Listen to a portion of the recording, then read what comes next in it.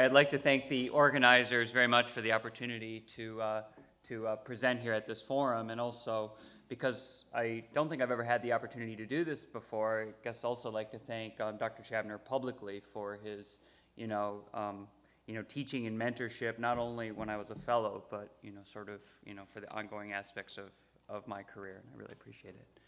So uh, um, what I'd like to talk to you about today is um, sort of building on the theme that was raised by the last two speakers and sort of describe a bit of our approach and a few examples from two projects in my, in, you know, that, that have, that have uh, sort of my lab has been involved with to really, you know, that I think illustrate something about at least how you could think about how to target various aspects of, of cell metabolism. And so our approach really to tackle this issue of what altered metabolism might be doing to support cell growth has really been to take a step back and really ask, well, what is it that metabolism does for cells? And what might that tell us about how that altered metabolism that is observed in cancer cells might then be advantageous, um, which I would argue is the key to, to uh, targeting them. Now, if you take a step back, all cells have to take up nutrients from their environment. They have to take those nutrients in and break them down and generate energy, mostly in the form of ATP. And this is done primarily to maintain homeostasis. So that is move, maintain ion gradients across the cell, move cargo around the inside of the cell, do whatever it is that that cell specific function happens to be. Now, not surprisingly, most of these are thermodynamically unfavorable. What does ATP do for you? Well, ATP allows you to couple ATP hydrolysis as a way to make unfavorable reactions now favorable. And so perhaps it's not surprising from that perspective that many cells in our body really rely on metabolism that is really suited towards making a lot of ATP. If you're a heart cell, you need to beat every, you know, um, you know, a second or so, you really need a lot of ATP generated to do that. So you gear your metabolism for that, for, for, for those purposes. Now, cancer cells, or really any proliferating cell, has to do all the same thing. They have to exist as a cell. They have to do all the things that are necessary to maintain homeostasis. Except in addition to that, they have to take up additional nutrients, feed those nutrients into the exact same metabolic pathways that are there to generate ATP, and still generate the ATP they need, but at the same time generate all the components that are necessary to go from one cell to two cells. So, so, that's all the DNA, all the RNA, all the protein, all the lipid, all the stuff that's required to get what we would call biomass in order to, to undergo the cell proliferation. And our work has largely focused on the hypothesis that what's going on with this altered metabolism in cancer cells, which is really seen in many proliferating cells, has more to do with how cells solve this problem. That is, not how do they make ATP, but rather how do they make biomass while at the same time generating enough ATP to survive as, as, as cells. Now, you might say, well, I took a biochemistry class. Don't we understand how all these pathways work? Well, indeed we do. And in fact, it's been quite carefully calculated how much ATP is required to exist as just a cell and how much ATP that you need to proliferate. And not surprisingly, you need ATP to do cell proliferation. But you, what you may be surprised to learn is that these two circles of ATP are actually drawn to scale.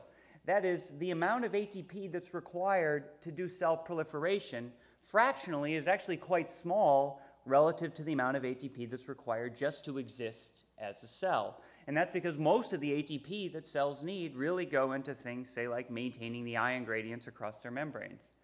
And so we would argue then that this increase, this Warburg effect that you heard about from the previous two speakers, really has to do this increased, nutri- this increased nutrient uptake isn't there to make ATP, but rather to make all of these other components necessary to, to uh, do, do cell proliferation.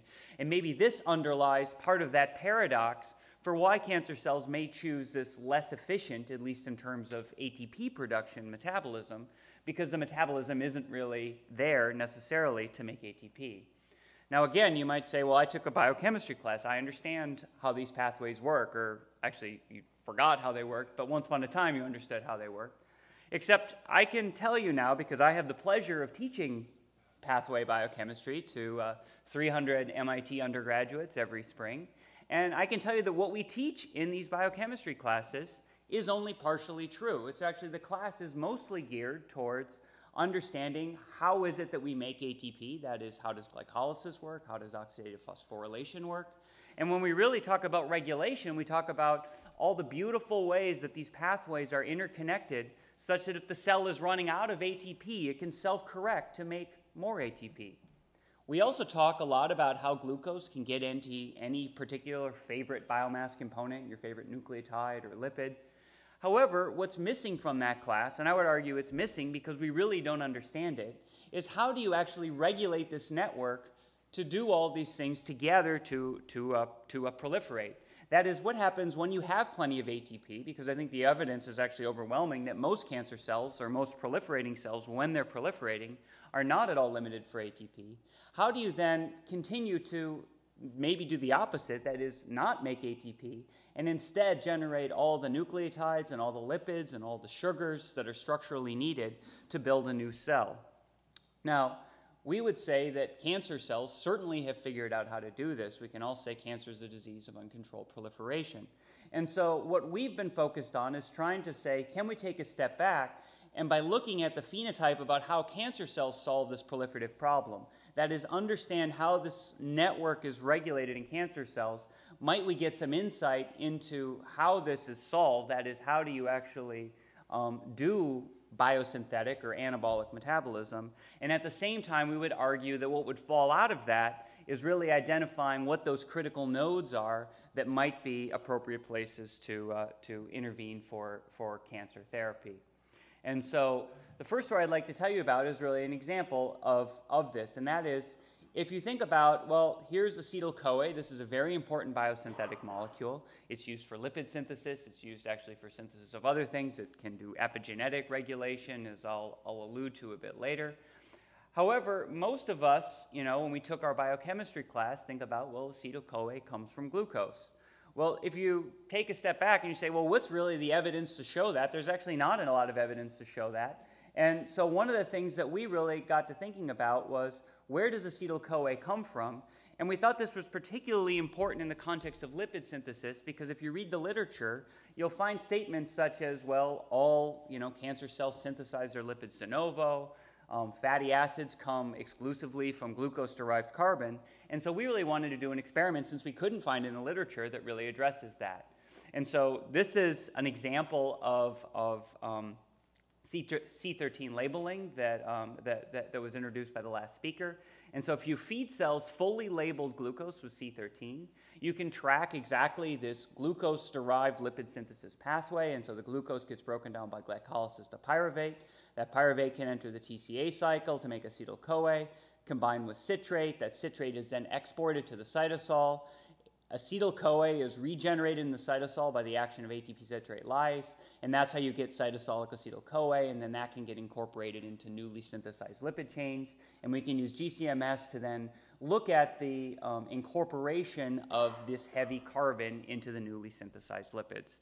And so we can do this experiment, and we can prove that indeed um, that indeed, when you do this experiment, most of your lipids are indeed derived from glucose.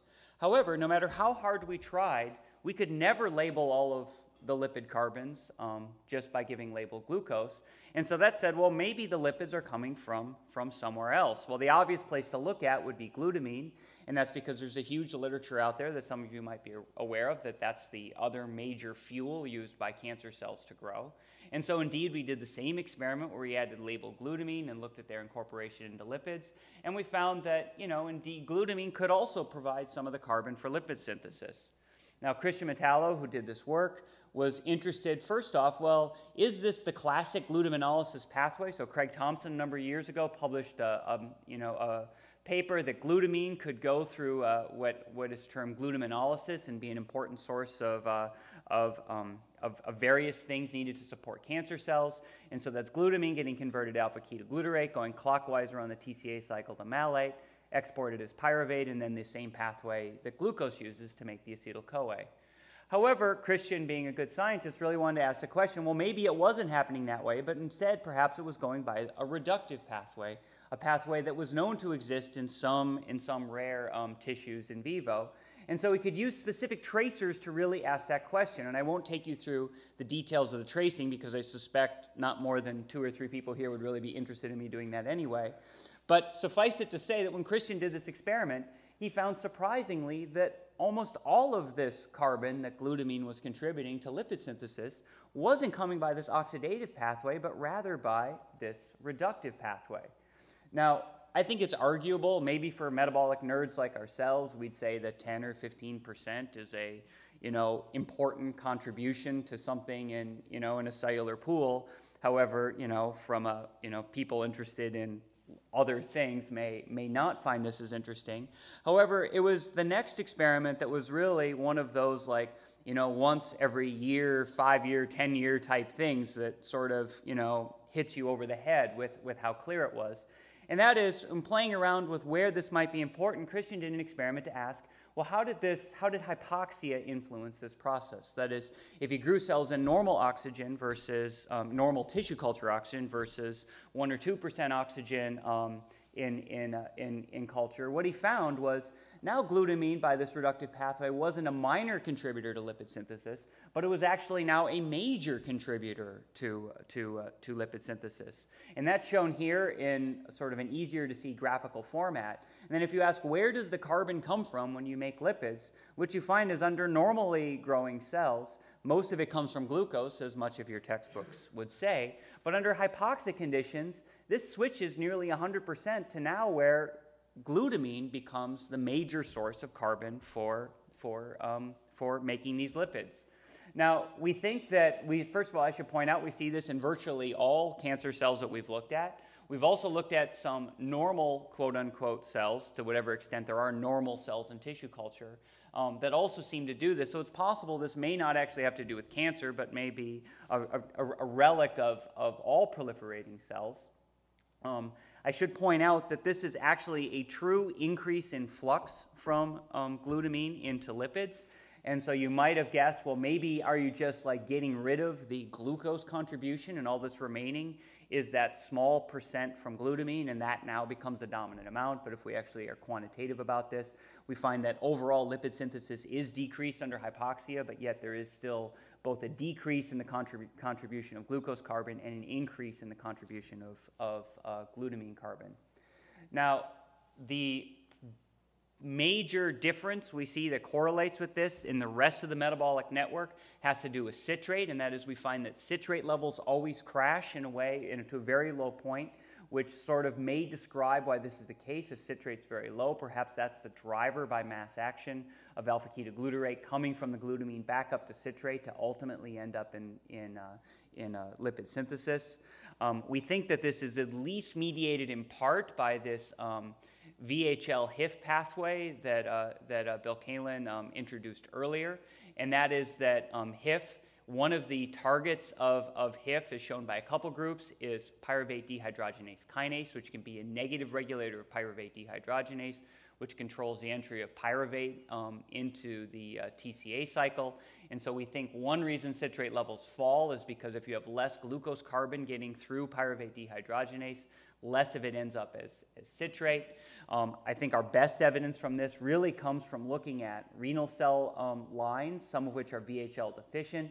And what we find is that these VHL deficient renal cell lines, so VHL is what, um, as you heard, turns off the HIF pathway, um, these are the only cells really that tend to use glutamine as their major lipid carbon source even under normal, you know, even under normoxia. And we think VHL is at least somewhat important because if we can re-express VHL in some of these VHL deficient lines, which we find is we can now switch them back to using glucose um, in, in, instead of glutamine. And so, why might this be the case? Why use glutamine carbon to make your lipids under hypoxia? Well, the reason we think this may be the case is that as many um, groups have shown over the years, it's actually very difficult to grow if you don't have glucose in the media. And that's thought to be the case because glucose is required to get into nucleotide synthesis. And it's actually very difficult to get carbon from down here in the pathway back up into these nucleotide biosynthesis pathways. And so if you're a cell that needs to grow under hypoxia, in physiological situations, if you're hypoxic, you're not just, you know, why would you be hypoxic? Well, you're hypoxic because you don't have a blood supply. Well, the blood delivers more than just oxygen, it also delivers glucose. And so, if you're oxygen limited, you're also likely to be glucose limited. And so, maybe you need to save that glucose for the pathways where you need it. And now you can use other substrates to build other things that, um, that can be um, derived from, from other nutrients, such as acetyl CoA for, for um, lipid synthesis. Well, interestingly, our data suggests that IDH1, the same enzyme that you've heard from the last two speakers, may be involved in this pathway. And that's because if we eliminate isocitrate dehydrogenase, we can have an, have an effect on this pathway. And I should point out, if we knock down IDH2, we really don't see any effect, although these shRNA experiments are always imperfect in really defining what is the correct isoform, although our evidence really would push that this is, that, that IDH1 is what's involved. And so this argues that perhaps in addition to mutant IDH1 having a function in this reductive direction, maybe wild type IDH1 can, can, can have the same property and perhaps explain part of what's going on. And I should say, one of the major things that pointed us to that perhaps these mutant IDHs were a gain of function had to do with the limited number of residues being mutated. And so this is arginine 132 in IDH1, which is the same, the synonymous residue arginine 172 in IDH2 or arginine 140 in IDH2. And what all these residues do is they coordinate that CO2 group in isocitrate. And so if you don't coordinate that CO2 group, when you go in the, in the reductive direction, the CO2 doesn't get re-added, you get 2-hydroxyglutarate. Whereas if you have the wild type enzyme and you have the CO2 there to coordinate, that's how you get citrate. And so there's some symmetry in what's going on between, you know, between the two situations. And it was pointed out by the previous speakers, I won't spend a lot of time on this, but the mutant really, the, the major finding there is that there's this accumulation of 2-hydroxyglutarate. I should point out the wild type enzymes are still there, so and they still actually work as better enzymes, and so most of the rest of the metabolic network is unchanged.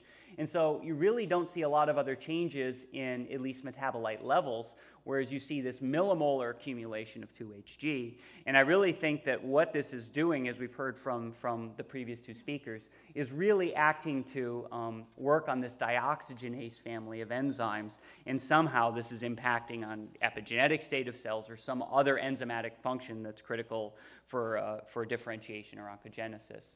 And I should point out that, you know, where cells get acetyl-CoA, this also can influence epigenetics. And so that at least raises, in addition to acting as a growth pathway, maybe changes such as this can also influence metabolism in a way that can feed back to other cellular functions such as, such as epigenetic state. Now, with the last few minutes here of my talk, I'd like to tell you a little bit about the other aspect that our lab has been focused on, and that's pyruvate kinase M2. And we really have been focused on this because this actually acts as a key switch that seems to determine do cells do anabolic versus catabolic metabolism. And just to, to, to uh, summarize some work that's been published, so most cells, um, at least many cells that are focused on ATP metabolism, so those cells that really need to do a lot of oxidative phosphorylation, muscle, heart, brain, those cells express pyruvate kinase M1. M1 is a constitutively active enzyme, and something about having M1 really seems to promote this oxidative ATP dependent metabolism. Whereas, as you heard from David, um, PKM2 is found during embryonic development. It's found in cancer cells. It's actually found in some normal cells that are involved in, uh, in various metabolic functions. And what's special about PKM2 is exactly what led us there in the first place, in that it has the ability to be regulated by phosphotyrosine mediated growth signals. And something about a phosphotyrosine interaction with pyruvate kinase M2 can influence its activity.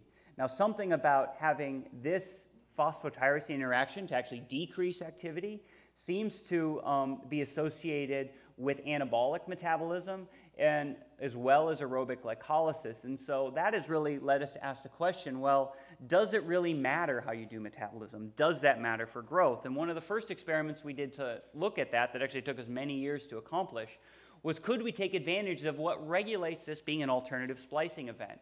That is, you either include exon 9 to make PKM1 or exon 10 to make PKM2.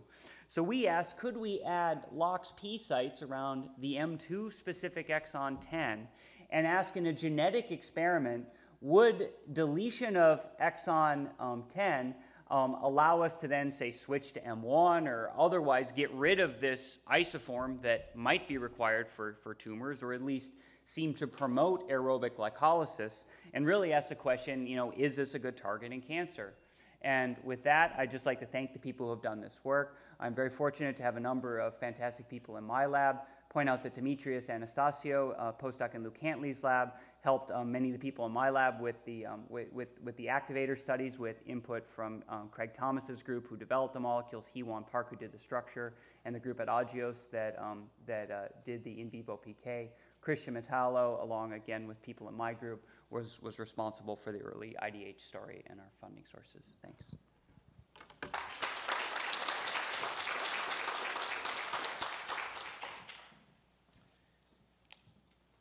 Questions for Matthew?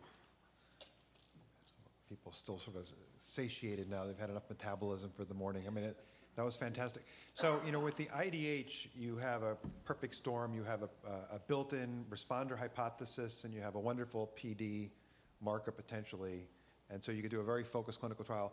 Are you starting to think about, uh, with this, these most recent agonists you described for us, whether there might be some genetic determinants of hypersensitivity or whether there would be some enrichment you can do for patients most likely to respond? And in the clinical trial, what are you going to measure? Yeah, so we've, certain, we've, we've certainly thought a lot about that, and I have to say that's, that's really been, um, I guess, the, the, the sticking point. If someone said, all right, well, here's a molecule, go do a clinical trial, I guess I'm not 100% sure right now what to do because pyruvate kinase M2, it's really expressed in most cancers. Um, we actually have yet to find a tumor that doesn't express pyruvate kinase M2. So you really don't have a responder hypothesis there. I guess our best thought right now has to do with it's really phosphotyrosine signaling that shuts off pyruvate kinase M2. And so maybe what's going on is that you're more dependent on turning off M2 in these really phosphotyrosine driven cancers. We have some evidence for that. Uh, David, he, alerted, he alluded to this, um, you know, this serine pathway, and it's probably likely that these PHGDH amplifications can really do at least that's something similar to what PKM2 does. So I didn't have time to go into this in detail. But decreasing M2 activity also shunts more carbon into the serine synthesis pathway. So that says maybe you have a phosphotyrosine-driven cancer that you know, is dependent on PKM2 for that, a PHGDH amplified cancer that's less dependent on P- PKM2 for that. Maybe it's, and we, we have some evidence that those events um, are mutually exclusive, but whether or not this will play forward into a true responder hypothesis, I think it's way too early to say. And are you testing at least the tool compound against sort of the cell line encyclopedia to see if we can just empirically determine that there are some cells that are hypersensitive to the inhibitor? Yeah, so, so with, the, with the help of Cyril Bennis and the, the former Jeff Settlement group, we've done that experiment. But the problem with this is, is that we can actually have PKM1 and get fine growth of cells in tissue culture. It's really the in vivo experiments where we see the big difference. And I guess that's, that's one of the challenges that, you know, any of us studying metabolism face is that tissue culture media definitely influences metabolism. Tissue culture media, those of you, many of you know this, but it was not designed to mimic the in vivo situation. It made HeLa cells grow as fast as possible. And so, what is going on in vivo and efforts to study metabolism in vivo, I think, will actually be really critical to appropriately, um, you know, figuring out the right targets and the right ones to go after, after for, for trials. Okay. Any, yes, right there. Great talk, Matt. Thank you. Um, I had a question about the redundancy of IDH1 and IDH2 and how it might be affecting um, lipid synthesis in tumors, except um, in comparison to normal cells. Because uh, it seems like there's three different forms of IDH, um, and only IDH1 and 2 are seen in tumors. Yeah, so IDH3 is really different. So IDH3 is the one you learned about in your biochemistry class, and it's the exception to the rule. It's mostly an enzyme that goes in the oxidative direction. It's a multi-subunit enzyme. It's a very different family. IDH1 and IDH2 are actually, you know, very similar in terms of their structure and their function. Craig Thompson has some nice data that shows that IDH wild type IDH2 can also function in the reductive direction, and he actually has a very interesting hypothesis that argues wild type IDH2 moving in the reductive direction and IDH1 moving in the oxidative direction is a way to shuttle reducing equivalents in and out of the mitochondria. Um, I have to say that it's a, it's, I agree it's an attractive hypothesis. I don't think the evidence is really there to say that's definitely what's, what's going on.